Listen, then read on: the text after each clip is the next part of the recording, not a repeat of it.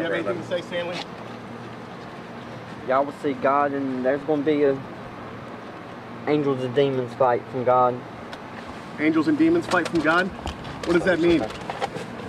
What does that mean, Stanley? There's a war. What war? Everybody will see. Which side are you on, Stanley? I'm the good side, God. Did you do it for God? Yes.